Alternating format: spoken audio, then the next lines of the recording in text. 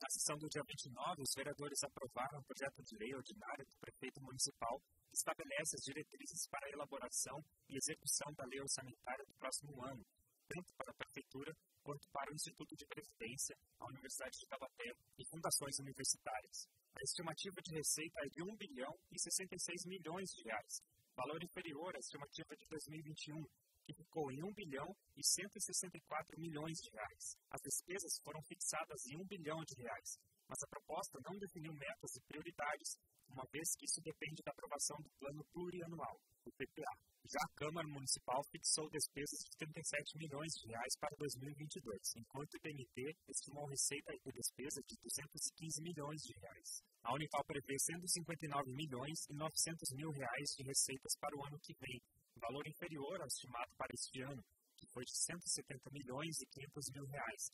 Da mesma forma, a autarquia de ensino reduziu a estimativa de despesas de 162 milhões e 600 mil reais em 2021 para 151 milhões de reais em 2022. A Fundação Universitária de Tabaté, a FUST, estima receita de 1 milhão e 756 mil reais. A Fundação Caixa Beneficente dos Servidores da Unital, a FUNCABS, deverá ter receita de 6 milhões e 200 mil reais.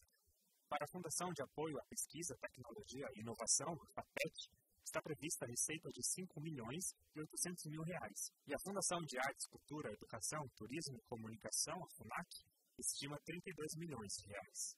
O projeto de lei recebeu oito emendas parlamentares da Comissão de Finanças e Orçamento, a maioria de correção redacional. Ainda há emenda para definir que as metas e prioridades para 2022 serão estabelecidas excepcionalmente na lei que instituir o PPA 2022-2025 e outro para regulamentar a inserção das emendas parlamentares ao orçamento, limitadas a 1,2% da receita corrente líquida.